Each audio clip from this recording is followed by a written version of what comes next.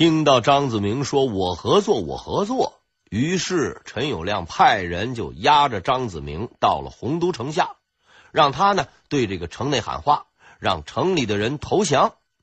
张子明呢就连声答应，走到了城下，大声喊道：“请大家伙坚守下去，我们的大军马上就到了，马上就到了。”哎呦，这陈友谅傻眼了。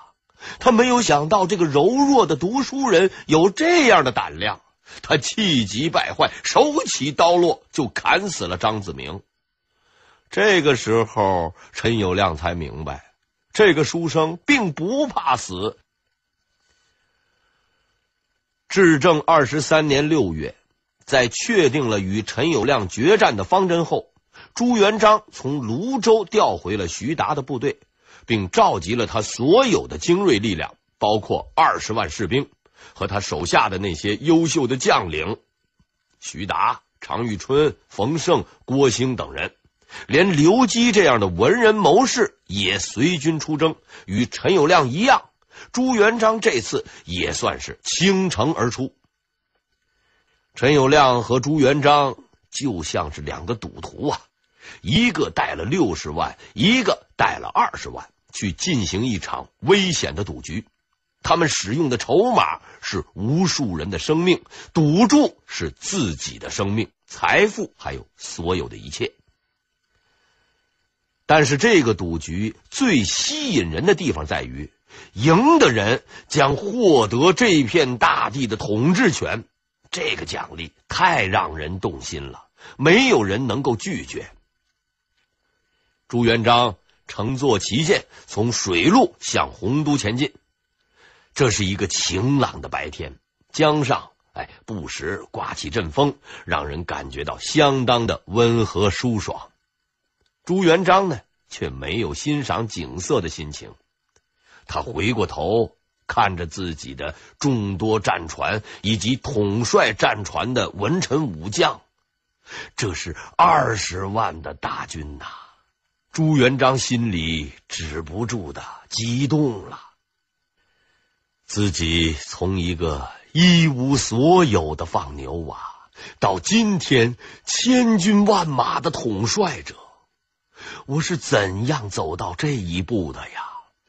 那么多的艰难与困苦、悲凉与绝望，我都挺过来了。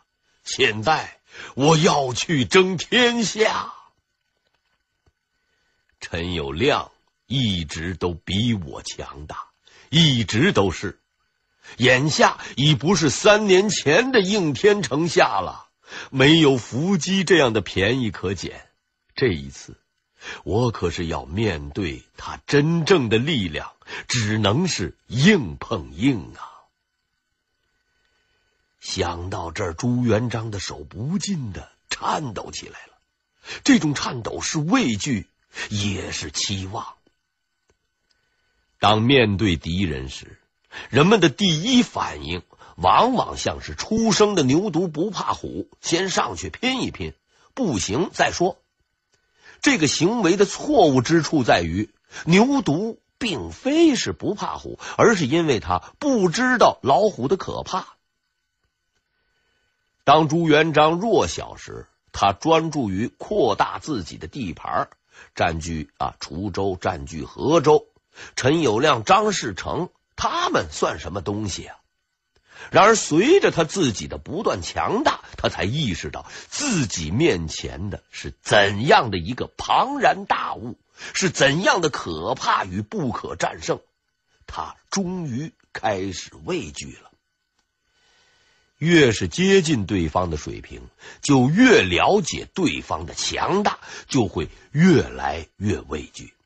当他的畏惧达到极点的时候，也就是他能与对手匹敌的时候。陈友谅，我已经有了和你决战的本钱。哼，你已经在洪都耗了两个月。士气和粮食还能剩下多少？我虽兵少，但绝不怕你。只要打倒了陈友谅，我就是天下之主。朱元璋的大军到达湖口后，为了达到与陈友谅决战的目的，他分兵两路，分别占领了荆江口和南湖口，同时还封锁了陈友谅唯一可以退却的五阳渡口，堵死了陈友谅的退路。朱元璋已经反复的考虑过，要彻底战胜陈友谅，唯一的方法是彻底摧毁他的水军。他决心与陈友谅在水上决出胜负。七月十九日，陈友谅得知朱元璋来救援，并且封锁了自己的退路，于是陈友谅就主动从洪都撤兵，前往这个鄱阳湖，寻求与朱元璋决战。陈友谅是彻底腻烦了和朱元璋这个人打交道，哎，也不想再等了。他呢，没有寻求突围回到江州，虽然这对他来说很容易。朱元璋封锁江口的那些破船根本就不放在他的眼里。陈友谅怎么回事？这时候啊，他那个心里想：老子已经没有耐心了。既然你要水战，那你就来吧，就在水上决一雌雄。陈友谅的水军与朱元璋的水军终于在鄱阳湖康郎山相遇，两支军队经过无数的波折，走到了最后决战的地点。鄱阳湖又称彭泽，北起湖口，南达三阳，西起关城，东达鄱阳，南北相望三百余里，可谓是浩瀚无边。它上承赣。抚、信、饶、修五江之水，下通长江，南宽北窄，形状就像是一个巨大的葫芦。朱元璋的舰队停靠在南鄱阳湖的康山，与陈友谅的舰队是遥相对望，双方就在湖上布阵。此时，朱元璋的士兵们才发现了一个非常严重的问题。什么问题呢？他们的战船太小，在陈友谅的巨舰前，哎，就像是小孩玩的那个玩具。陈友谅的战船中最大的长十五丈，宽两丈，高三丈，船只分三层，船面上居然有士兵骑马来回巡视。从船的前面看不到船尾。哎哎，所谓就是说首尾不能相望，而朱元璋的战船呢，居然还是以至正二十年龙湾之战中缴获陈友谅的船只为主力的，还有若干渔船在内呢。虽然朱元璋的士兵们早就听说陈友谅的战船厉害，但只有到了近距离观察，才发现，哎呦，陈友谅的战船是个多么可怕的舰队。这仗怎么打呀？我们认为啊，这一场景应该给朱元璋啊留下很深刻的印象。以后明朝的船只建造啊，一直都以巨舰为目标。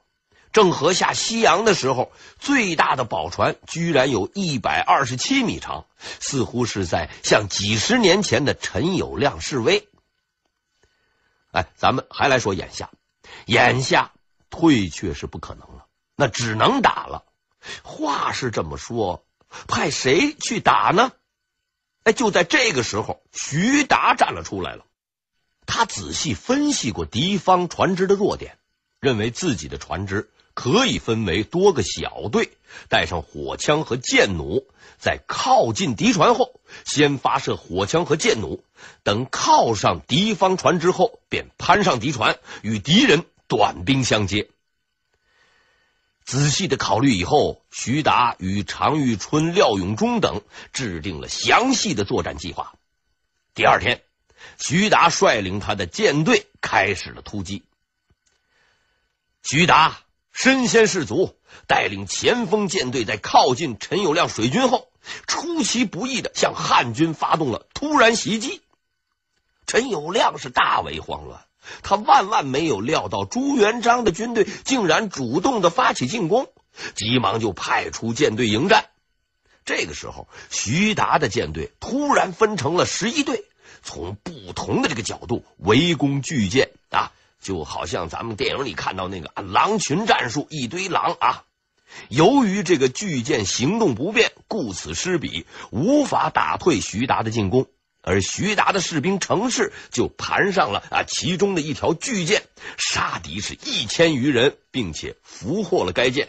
陈友谅前军被打败。陈友谅发现了徐达进攻的特点，便集中啊几十艘巨舰发动集群攻击。徐达急忙将舰队后撤，汉军顺势就发动攻击。然而他们没有想到，这是一个圈套。他们尾随追击徐达，风向突然转为逆风，在朱元璋中军舰队里等候多时的于通海立刻集中大量的火炮，向进入射程的陈友谅水军啊猛烈的轰击，哐哐！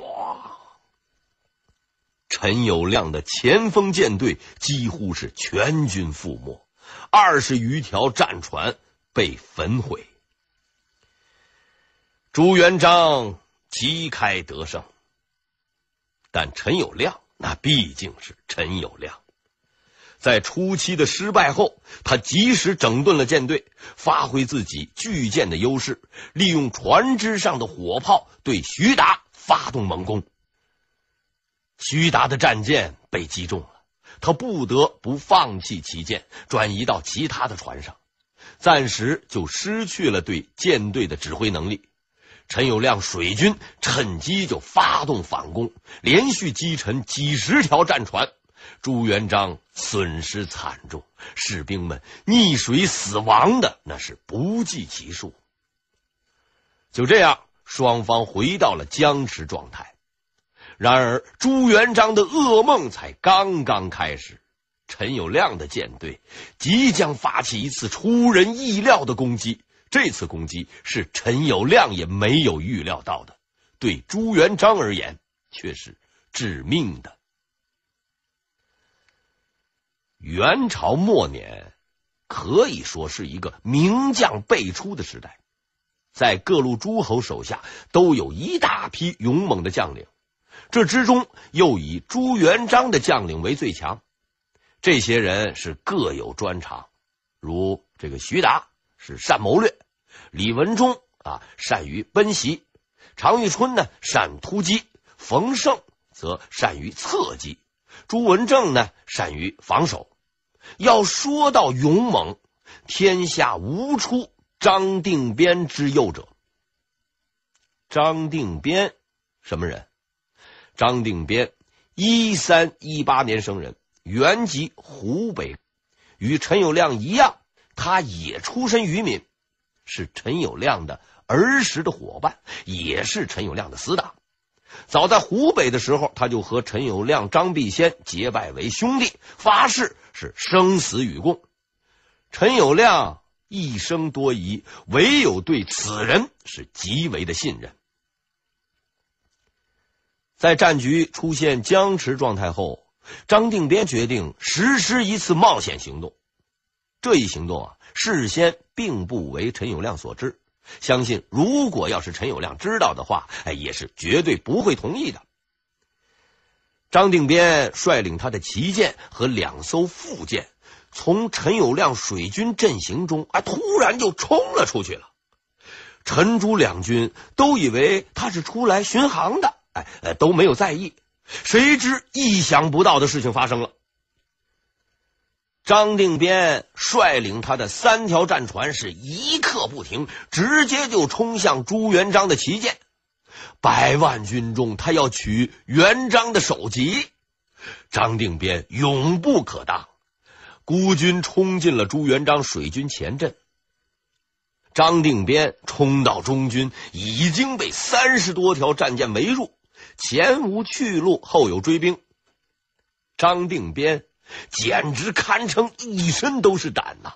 身陷重围，孤军奋战，却是越战越勇，锐不可当。他亲自持剑站立在船头，以示绝不后退之决心。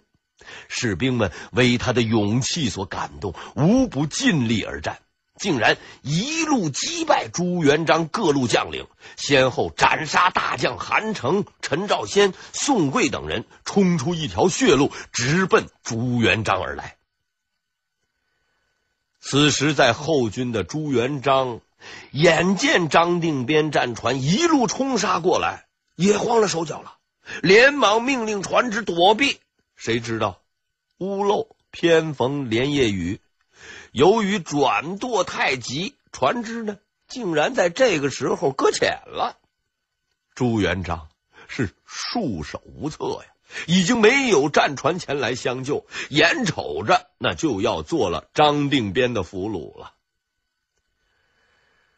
在这儿啊，那咱们要说一下，在这个武侠小说中啊，大凡遇到类似的情况啊，都是啊美女受难，武林高手呢前来相救。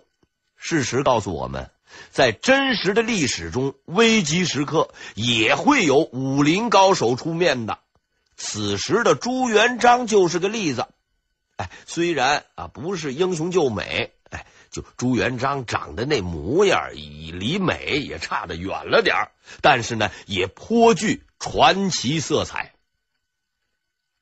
这个时候，常遇春的战船就在朱元璋的不远处，在大家伙都急得团团转的时候，他呢手持弓箭，对瞭望的军士说。不要慌乱，告诉我哪个是张定边？军士忙用手指向前方战船舰首的一个人。常遇春是拉弓搭箭，军士这个手还没放下来呢，这个箭呢，嗖的一声已经离弦了，一箭正好射中了张定边。哎，人家射的还是移动靶呢。张定边被射中后，无力指挥战斗了。就此退出了朱元璋的水军，竟无人上前阻挡。第二天的战役就此结束，这实在是惊心动魄的一天。当天夜里，陈友谅召开作战会议，总结了当天作战的经验。他认为啊，要发挥自己战船的长处，必须保证集群突击。而船只的行进速度不同，无法保证统一。于是啊，他创造性想出了一个主意，把这些船只啊用铁索给连起来。哎，听到这儿，您觉得耳熟吧？这实在是不应该。据说这个陈友谅和施耐庵的关系很好，如此说来，他应该也认识罗贯中。那就实在不应该犯这个错误了。不知道是什么原因，陈友谅啊，竟然会采用当年曹操用过的昏招。看来啊，这个罗贯中啊，呃，当时啊，并没有写完这个《三国演义》，或者说是呢，写完《三国演义》了，出版以后呢，他忘记送给陈友谅一本了。第三天，朱元璋发动进攻，朱元璋。亲自吹响了号角，召集水军布阵进行决战。此时呢，陈友谅的铁索连环舰队发挥了巨大的威力，互相连在一起，绵延竟有十里之远，望之如山呐。朱元璋连续派出三支舰队轮番进攻，都被打败了。而陈友谅敏锐的察觉到朱元璋的右翼薄弱，便指挥大军猛攻右翼。这一招，哎呦，十分的厉害。朱元璋的军队抵挡不住，眼见形势不妙，朱元璋亲自仗剑守在船前，以旗舰为底线，退后者力斩。但他连杀十余名后退的千户后，仍然阻挡不住败势，眼看着要全军崩溃。谁知道，就在这个时候。他的军中也出了一个类似张定边的猛将丁普郎。这个丁普郎是赵普胜的结拜兄弟，也是当年徐寿辉军中四大金刚之一。他投奔朱元璋，并不是出于自愿，而是不得已。所以呀，作战的时候一向并不积极。但此时仇人当前，让他露出了自己的狂人本色。对他而言，什么都在其次，只有兄弟义气是最重要的。陈友谅这个卑鄙小人杀了赵普胜，今天一定要他偿命。据说他在自己的船头竖起了七尺白布，上书八个大字：“旁人不问，唯诛九四。”因为传言啊，这个陈友谅的小名为陈九四，这意思就是说什么呢？老子只找陈友谅算账。无关人等都闪到一边去。你瞧，陈九四、朱重八，从名字来看，其实都是苦命人呐。在张定边昨天上演好戏后，丁普郎今天接演了续集，他也率领自己的战舰冲向了敌阵。此时正是朱元璋败退的时候，所以他的攻击带动了军队的士气，使得朱元璋能够撑到决战的时候。不过呀，他的这个冲锋方向并不理想，与张定边不同，他呢是哪儿人多就向哪儿冲击，勇则勇矣，但是没有什么效果，自己还吃了不少的亏，身上中了十多处伤啊。哎，这就是名将之勇与匹夫之勇的区别。